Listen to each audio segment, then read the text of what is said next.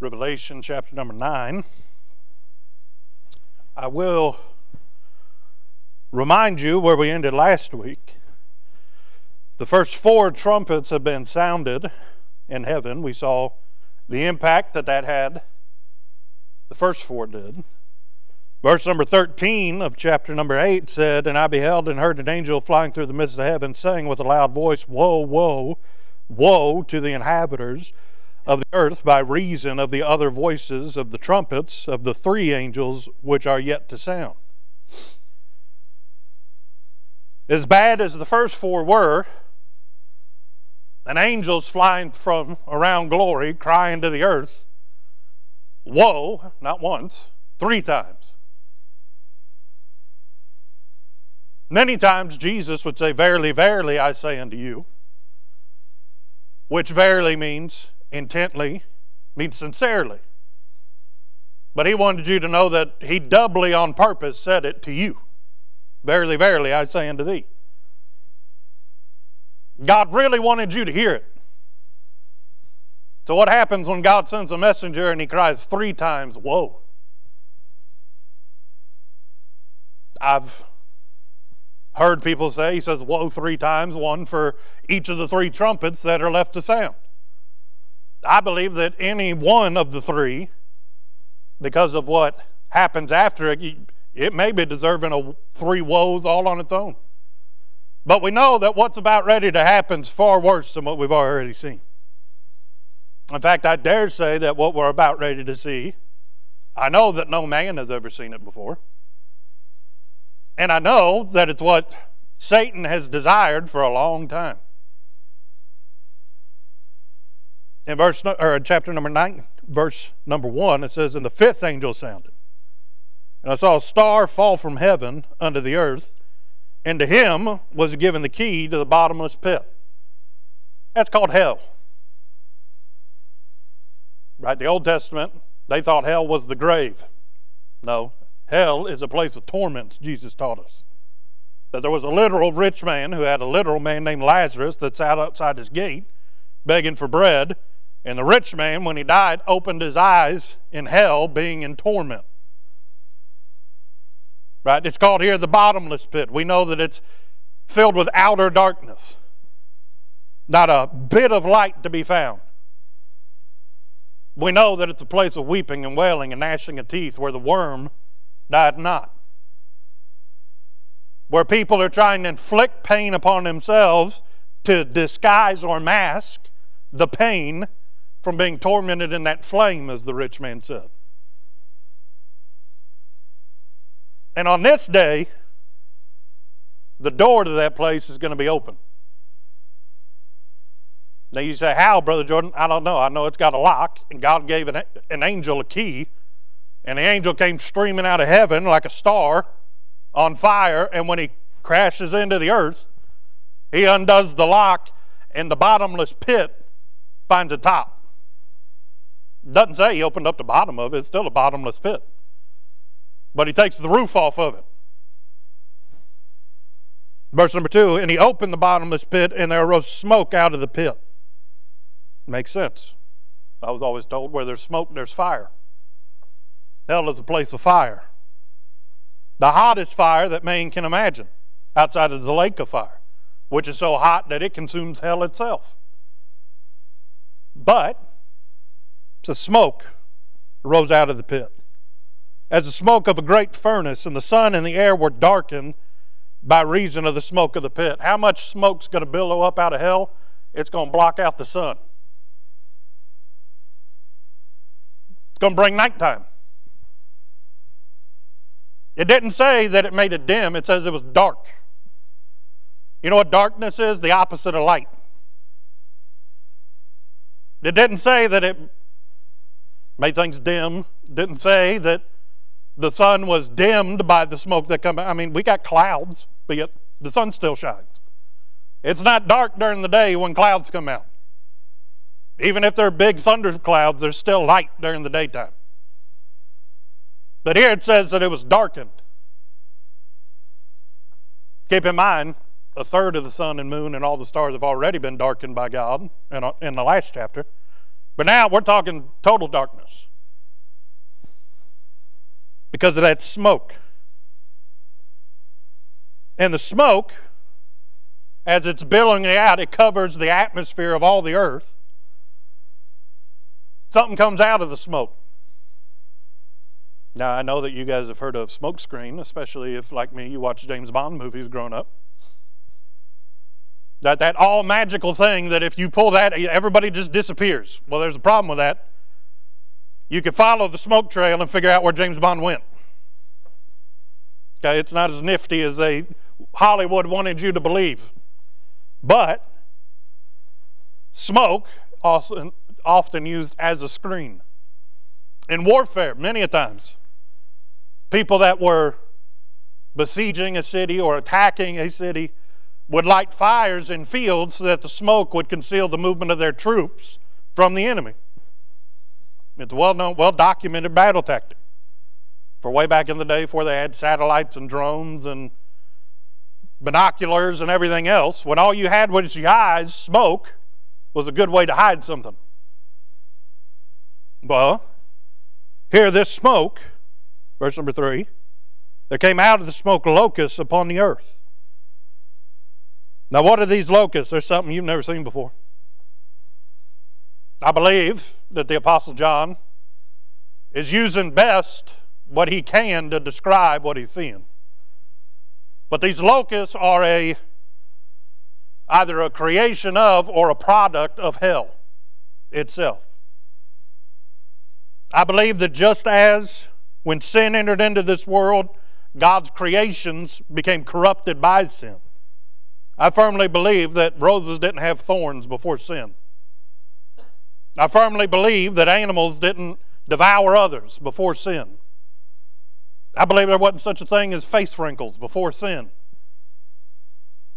And I believe that before it was used as a symbol to represent to us what God had foretold. I believe that serpents used to be nice to look at. Bible says this is the most subtle creature or beast of the entire garden. It was beautiful to look at until what? Until God changed it as a symbol to remind us that He bruised the heel of man, but God would send one that would bruise the head of the serpent. I believe that sin changes things. I don't know what these locusts started out as, but I know that Satan and sin have had their way with these locusts. I believe that they're flying. I believe that they may resemble insects. That's why he called them locusts. But locusts everywhere in your Bible usually are a representation of destruction. If a swarm of locusts comes into town, they're eating all the crops. If locusts invade, if God, just as God did with the Egyptians, if God sends locusts, they're taking all the food that's out in the field. You can't stop them. You may stop one, but the danger of a locust is not in the one, it's in the many. They swarm you, they overwhelm you. They move too quickly as a whole for you to stop and intervene with. You can't meet them halfway. All you can do is stand in the middle while they fly past you. Which I believe is a testament to the fact that John the Baptist was right with God because it said he was out in the wilderness eating locusts and honey. Where'd he get all them locusts? God gave it to him. Because you can't catch a locust. You can try. You ever tried to catch that grasshopper that leaves you all awake in the middle of the night? And you go to find it and it's coming from a different direction? All of a sudden, well, locusts the same way. Well, it says that these locusts that came out of the smoke, under them was given power as the scorpions of the earth have power. We'll get to that here in a second. But verse number four it says, And it was commanded them that they should not hurt the grass of the earth. Now here's the thing. Didn't we just read in the last chapter that when one of the horns was sounded, that God caused fire come down and burn all the grass? Now, do you believe that your KJV is the Word of God? Do you believe that God knows the difference between all being consumed and destroyed that there wouldn't be any in this chapter? Well, see, we see it as chapter 8, chapter 9. That's not how John the Revelator saw it. He's getting a glimpse of things as they're happening through time. He's just seeing little windows, picture frames of what God's showing him. It'd be like if you went to a movie and then you took one still and you had to describe what was going on in that still, and then we jumped to the next section of the movie, or we jumped back, we jumped forward. He's just describing to you what he's seeing in the moment. But don't think that the Bible's contradicting itself, because it's not. I know that in chapter 8, when God sent fire, it said it destroyed a third of the trees, it said all the grass. Y'all know that there's a place, I believe it's in Greenland, maybe in Canada, I can't remember. They're close to one another.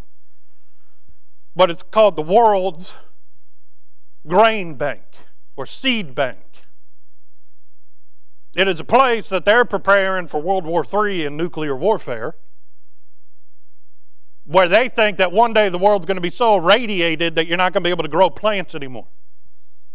So they've dug so far down underneath of the ice and into the rock that they have developed a cold storage place where they have frozen seeds of every type of plant and vegetation that they can find on the earth. They have a frozen sample of those seeds so that after the radiated wasteland is over, they'll be able to grow food again. Well, it's not going to be radiation that does it, it's going to be fire from heaven. But eventually, I believe they're going to take something like that. Not to mention all the places around the world where nowadays they're growing things through hydroponics and everything else. They don't need dirt anymore. They just need a place where they can put up some fluorescent light bulbs and water the plants enough in a day and they can grow plants inside. But he's saying the Antichrist has a plan on how he's going to say that God didn't destroy their chances, that they could still grow grass, they could still grow fruit. There are things that they can use. Well, these locusts, they're not coming for the grass that they've replanted. How long passes between chapter 8 and chapter 9? I don't know. I know it's enough time for the grass to come back. There's some grass can grow real quick. There's other grass that grows real slow.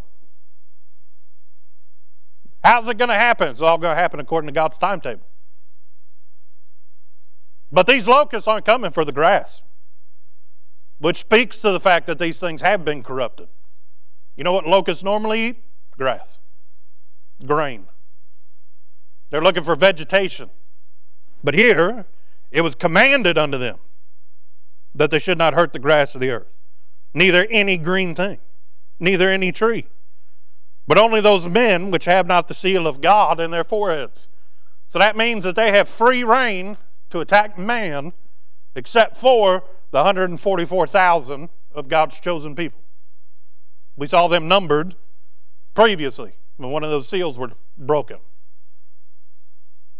They've got free rein to go and attack and torment mankind.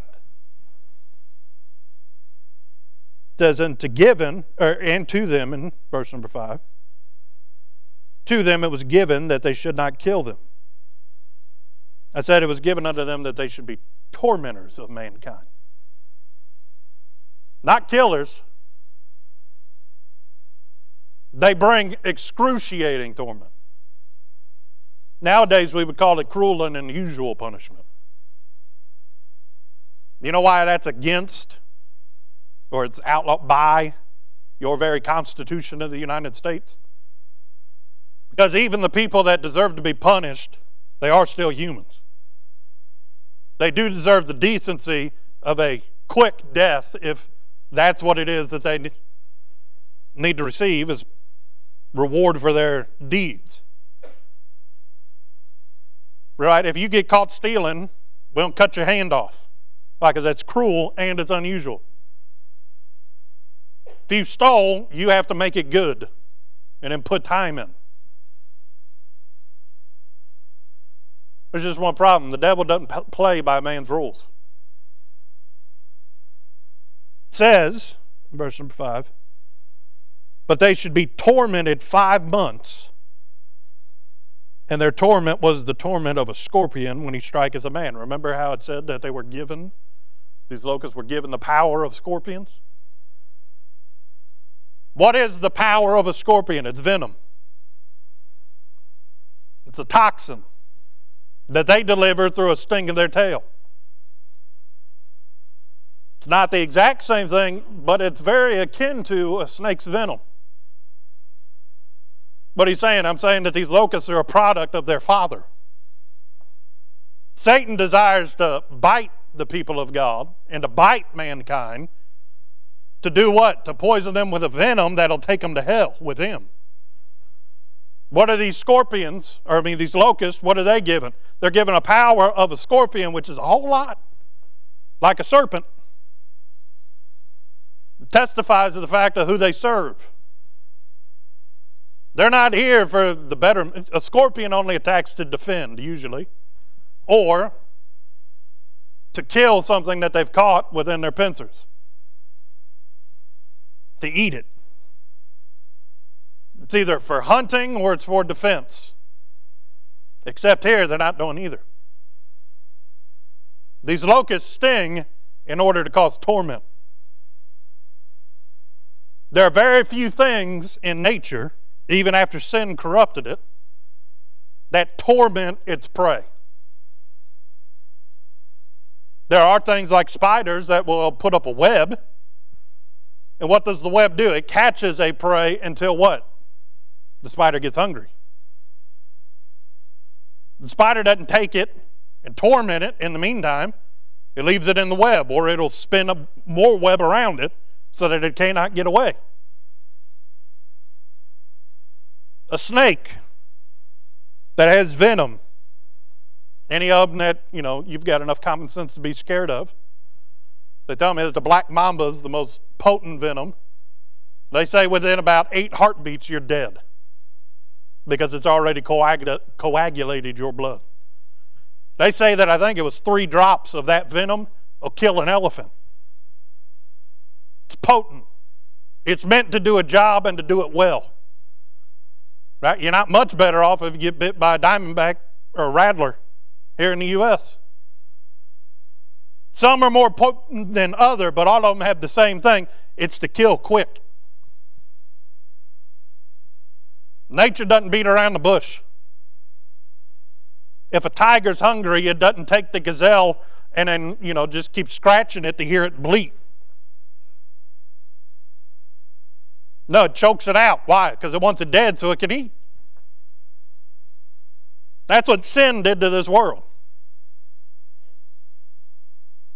Now, hallelujah, there's coming a time when Jesus comes that again there will be peace on the earth.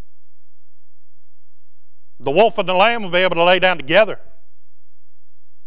Why? Because the turmoil and the conflict brought by sin will be gone. Hallelujah. But see, even what they're doing here, keep in mind, I've told you, and we've said this, when the Holy Ghost is brought out of the earth, when the church is raptured out, this is Satan left to his own devices. Satan gets to do what he's always wanted to do. You know what that is? Torture mankind. Why? Because mankind was made just a little bit lower than the angels. But mankind had a choice. And God loved man before he made man. And because God showed love to man, man showed love to God. That's Bible. Herein is love, not that we love him, but that he first loved us. We reciprocated that love out of choice. And because of that, God fellowshiped with man. You know what Lucifer's job was in heaven? He was full of instruments, the Bible tells us. He was the minister of music, if you will, in heaven. He was the one who set the stage. Doesn't the Bible say that God inhabits the praise of his people? Well, it was his job to lead the praising in glory. And he saw that God delighted in the praise. Why? Because God's worthy.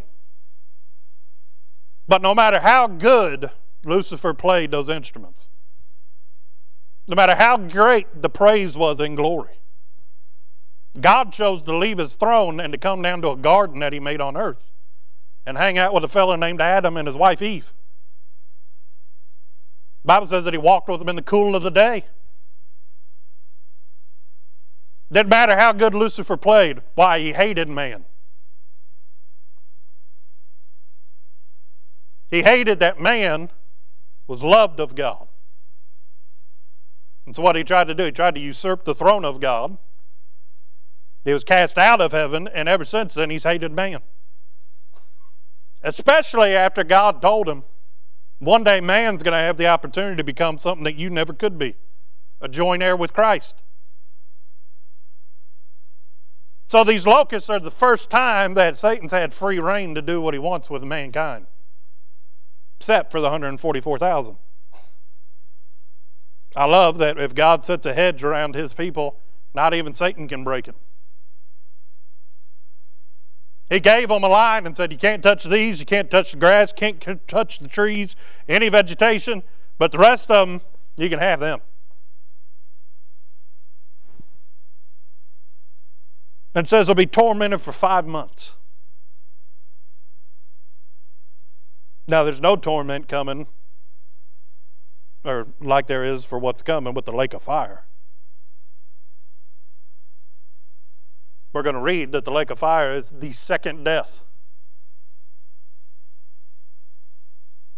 It's a place so hot that even death itself is consumed in it. That's torment in my mind. I remember I broke my foot. I think I was in the seventh grade. And we got to the hospital, and the doctor asked me the wrong question.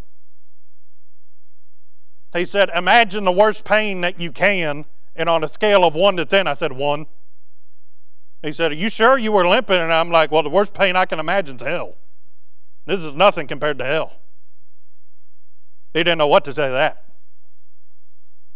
He said, okay, let's take that out. The worst pain you've ever experienced. I'm like, oh, we're about an eight. That's a different scale.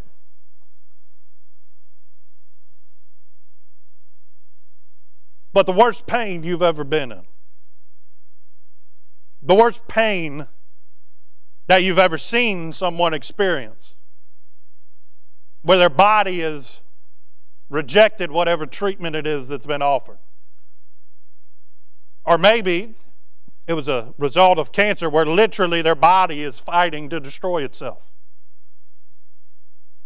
Or the torment that you've seen in somebody's face is senile or has dementia or Alzheimer's, and you can see the actual emotional pain on their face because they can't remember, but they know that they recognize you.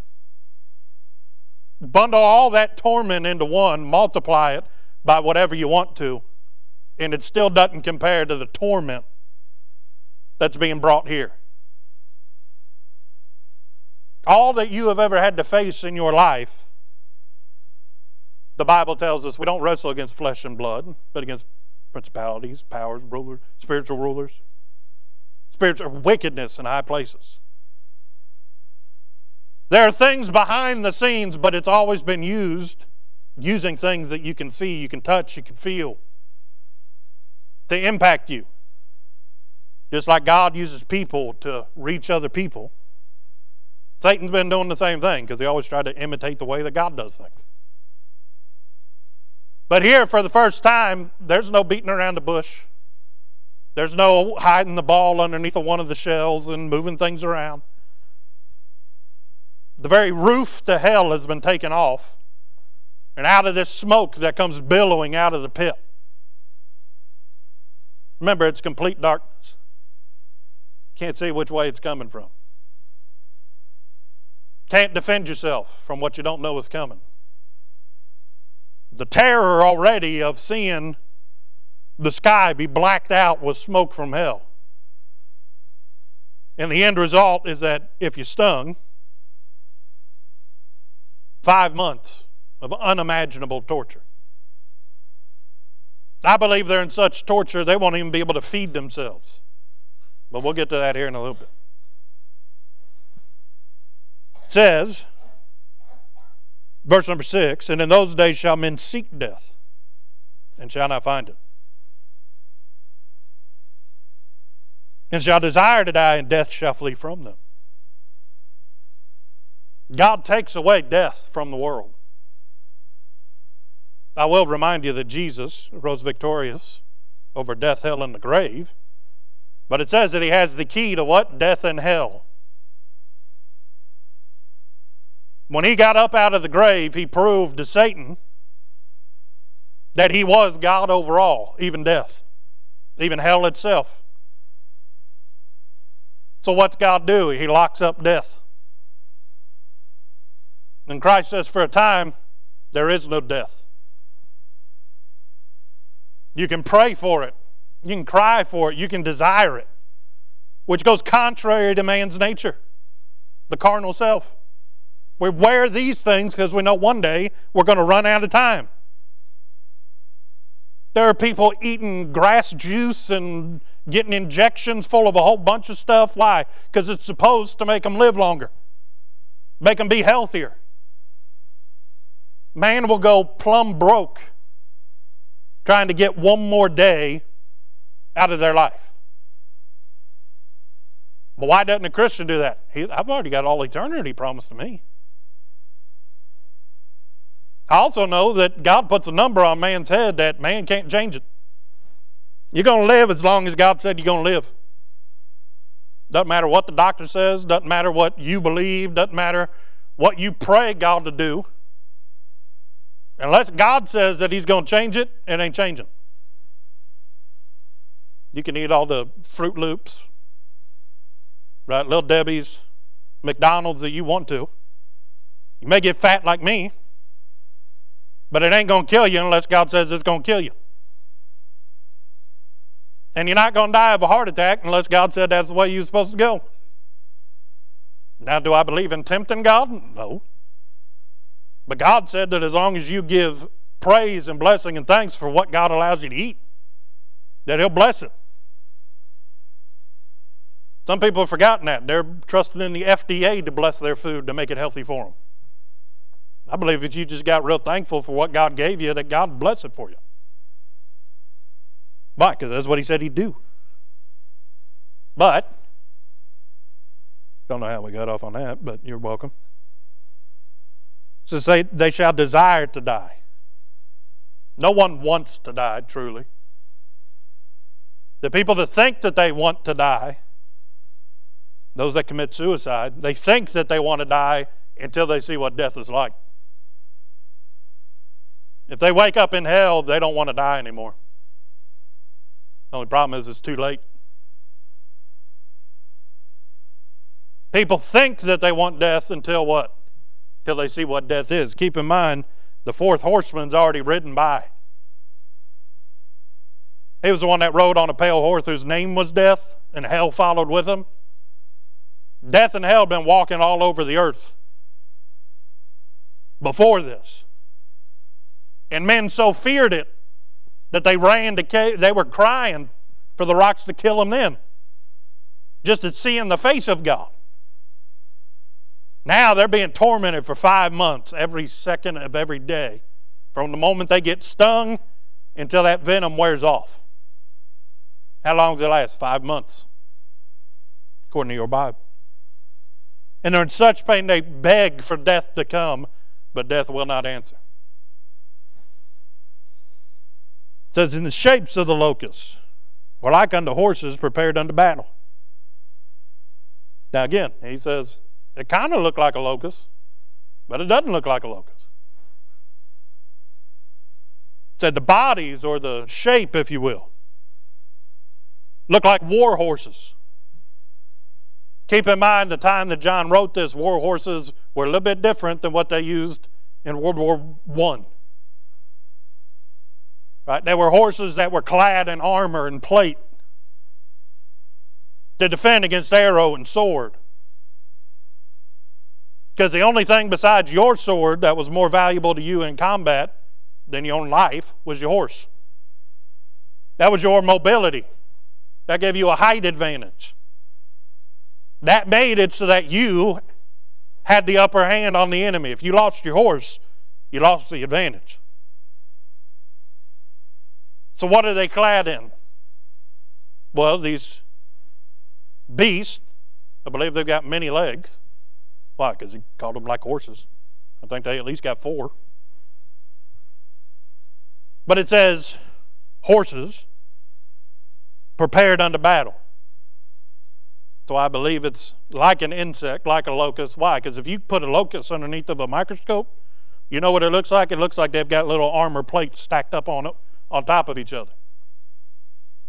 It's called their exoskeleton. Your bones are on the inside, theirs are on the outside. Everything that protects them is on the outside, like armor. And I believe that these locusts, shaped like horses, prepared unto battle. What's it mean? They've got a lot of strong pieces on the outside to protect what's on the inside. Well, says on their heads were as it were crowns like gold, and their faces were as the faces of men. Those crowns, I believe that he says they were crowns like gold. But I believe that that crown is a symbol of where they come from. It says it was like gold, but it wasn't gold. What to do? It identifies them with the one that we're getting ready to read about here in a few verses. They've got a king, and their king has given unto them a position. It's a status symbol. They were appointed to do this unto men. And they proudly wear that title. But it says these suckers, they don't have faces like ants and bugs and they don't get the little antennas and everything. No. These locusts, they have the face as of men. They've got two eyes, they got a mouth, they got a nose. Do they look human? Didn't say that, but they've got a face like a man. You're not afraid of what's on the front end of this thing, it's the tail that you're afraid of. But, it says, and they had breastplates, as it were, breastplates of iron. Again, hardy. Horse armor goes on the back of the horse, down the legs. Usually the chest is open, but this one says, nope, even their chest is covered. As it were, breastplate of iron. Everywhere you look on this sucker, it's got something to defend itself from you. But you've got nothing to defend yourself from it. It says, And the sound of their wings was as the sound of chariots of many horses running to battle. I've mentioned a cricket before. Right? The sound of a cricket can be annoying. The sound of an airplane going overhead sounds like a roar. It's fleeting, it passes for a moment. But there's so many of these suckers that as they start flying up out of hell while they're still in the smoke, then they descend from the smoke down to earth. It sounds like a war party coming right to where you're headed. Keep in mind, the smoke's already darkened.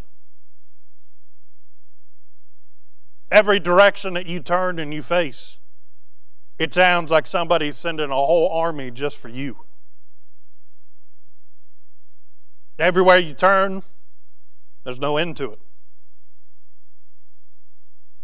Doesn't say it's the sound of one horse running. That's loud enough. You ever heard a horse gallop through a field?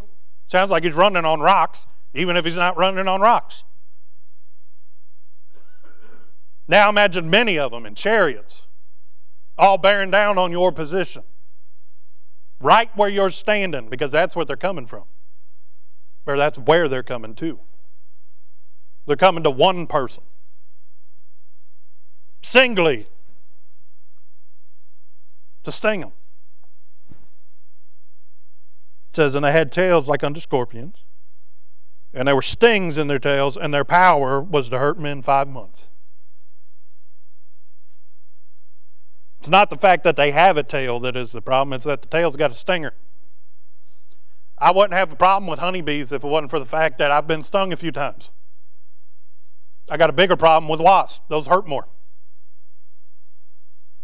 And God forbid you get bit by an angry hornet.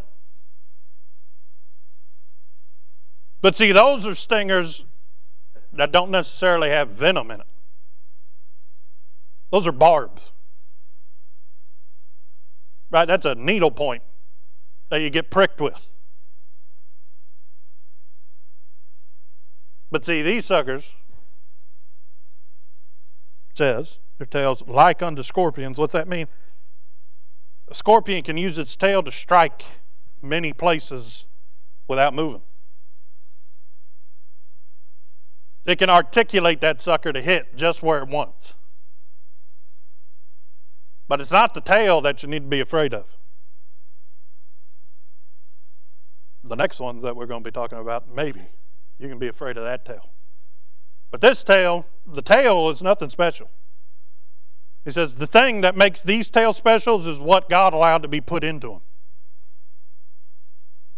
Right? Isn't that just like the devil to take something that you think you understand and twist it to where it causes you pain and damage?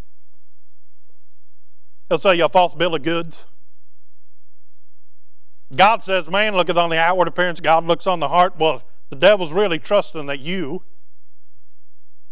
really look on the outward appearance. Because he's real good at disguising a whole bunch of evil in something that looks real nice. He's the king of the carpetbaggers. You all know what carpetbaggers are? Old timey term for somebody that would show up with a bag full of goods and they'd promise you all these things. All you had to do was give them money and you never got the goods. They were con men. Well, what's Satan? Ever since the beginning, he's been a con man. And he takes something and you're like, well, it's like the tail of a scorpion, but they got something that scorpions don't have. And there were stings, plural, in their tails, plural.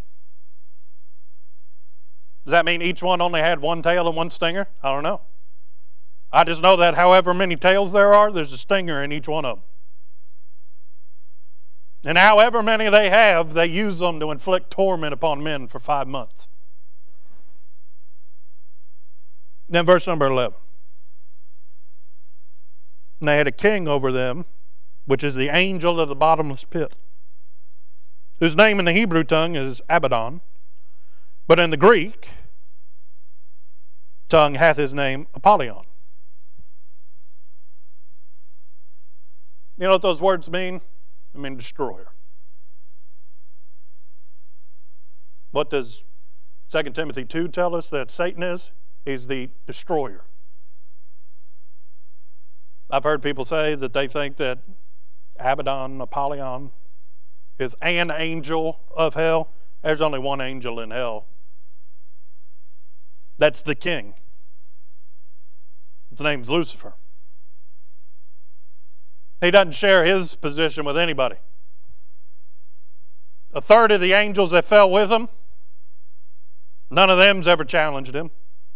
Why? Because the reason they followed him is because they thought he was the bee's knees. He likes to be called the light bringer. He likes to be called right the chief musician, if you will. He, he likes being front and center, not like Diotrephes. He loves the preeminence. But for the first time that I know of since the garden, he gets to strut his stuff on the earth. Doesn't have to take the form of a servant, he gets to be himself. Says they had a king over them. Why do the locusts have crowns? Because they have a so called king. A crown signifies that you've got a position in the kingdom. One day we're going to be given crowns as rewards. Now, there's a crown of life for all those who love his appearing.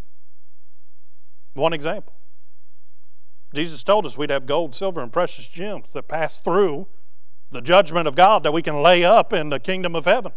What are we going to do with those? We're going to give them to the one that deserves it, Jesus. Says we'll lay them down at his feet, cast them at his feet. You know what cast means? It means that it doesn't mean anything to you. Lord, I didn't do this to have it for me. I did it so that you could wear it. The crown was for you. My labor was so that it would bring glory and honor to you. But see, Satan, he's real big about outward appearances, remember? You know what makes a king even better? If other kings bow down and worship him. What's he do? He gives crowns to everybody that'll follow him. It's just one problem. In order to get it, you got to be in the bottomless pit called hell. No, thank you. I will not take a crown and I'll pass. But see, some people haven't made that choice. Some of them angels that came out of glory with him, they wanted one of his crowns. They got him. And for the first time in history, God took the lid off of hell. I know it's closed because I know that hell expands its borders every day. I kind of partly believe that because hell's getting so big, that's why we got so many earthquakes and natural disasters. Because in order to make more room, guess what God's got to do? He's got to stretch earth a little bit.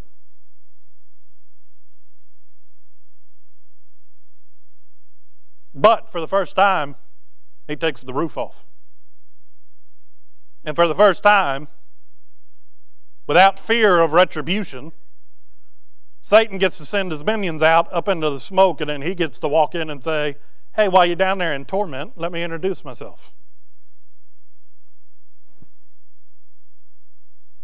Verse number 12 One woe is past, and behold, there come two woes more hereafter. That's just fifth. We still got six and seven. There's two more to come. But look with me, if you will, verse number 20. It says, And the rest of the men which were not killed by these plagues yet repented not of the works of their hands, that they should not worship devils and idols of gold and silver and brass and stone and of wood, which neither can see nor hear nor walk. Neither repented they of their murders, nor their sorceries, nor their fornication, nor their thefts. God has sent these judgments to man, allowed Satan for a time to have his way with mankind. To a degree, Satan really desires the destruction of Israel, but he can't touch them because God said that he couldn't. So, what's he do while he's waiting for the Lord to show up, meet him at the Battle of Armageddon? Well, he goes around and he tortures men for five months sends his minions out.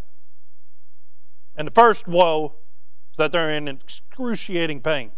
Day in and day out, they beg to die, and Satan laughs in their face and says, You missed that opportunity. You could have chose to die out to self and accept Christ, but instead, you didn't.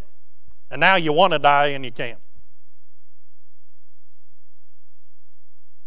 He walks around and he says, The reason you're here in torments is because you believed the lie that I originally started. And every day they cry out for somebody to put them out of their misery, but mercy doesn't come. Grace doesn't show up to answer the call. Man gets what they sowed. Be not deceived, God is not mocked. Whatsoever a man soweth, that shall he also reap. What's man been sowing? for a very long time now hell on earth. And here in the beginning part of chapter number 9, guess what they get? Hell on earth. But we know the end of the story. Even after torment for five months, even after the next trumpet, the woe comes. Guess what? It's worse. But even after all of that, they still don't repent of their wrongdoings. You know what this chapter symbolizes? That pain will never trump pride. Jonah didn't humble himself before God in the belly of that whale because he was in pain. He humbled himself because he came to himself and realized he was there because of his disobedience to God. Now go read the book of John. He thought he was in hell. Because from his point of view, he was cast into an ocean by a bunch of angry sailors, and then it was just darkness. And he's in a place that causes his skin pain. But maybe he heard that whale singing or the great fish making noises. I don't know what happened, but eventually he realized he wasn't. And he came to himself and repented before God. But what happened? Fish spit him out on the beach. But even then, it wasn't the pain that humbled Job. I mean, Jonah. Right? All the pain that Job went through, literally, his flesh was full of boils. Right? Satan trying to break his will. He knew he was right. He knew God was right. He knew his friends were a bunch of idiots. Every time they tried to rebuke him, and he says, You foolish idiots. He even told his wife, You speak as the foolish woman. Shall we not receive good things and evil from the hand of God? He says, We don't get to pick, God picks. He says, It's our job to serve Him and to worship Him in the meantime. Give Him glory because He deserves it. Pain didn't destroy Job. Pain will not destroy these people's will. The will of man is something that either has to be broken by the hand of God when He breaks men's hearts, or through the cords of loving kindness that the Holy Ghost used to draw men unto Him. You know when Pharaoh's heart was broke? When God broke it. He hardened it until he could harden no more, and then it snapped. It broke. You know, when these people's wills are finally going to be broken, when God breaks their will, when He casts them into the lake of fire, they'll be defiant until the end. That they were right, that they did many great works in His name and cast out demons and did all these great things in the name of Jesus. And He'll say, Depart from me, ye that work iniquity, I never knew you. Man's pride and man's will will remain intact until the end. They're going to go out kicking and screaming, wailing about how God's wrong and they're right. You say that's foolish. Yes. But that's the power that your mind has over your body. As a man thinketh, so is he. If you think it hard enough and believe it long enough in your mind, it'll be just as true as the fact that God exists. In fact, your mind can go so far as to convince you that God doesn't exist, which is the greatest lie that you can ever believe. What are you saying? Even after all of this, these men will not repent. Yet we go through such trivial things in comparison, and yet we still remain prideful towards God. Still remain boastful non repentant. That makes you appreciative of the mercy and long suffering and grace of God. Because one day He's taking it away, and that's what man's going to be left with. Do you struggle to find good Bible based resources to supplement your personal devotions? If so, head on over to ibcflorence.com today and click on Bookstore, where we have a ton of resources. And as always, thanks for listening.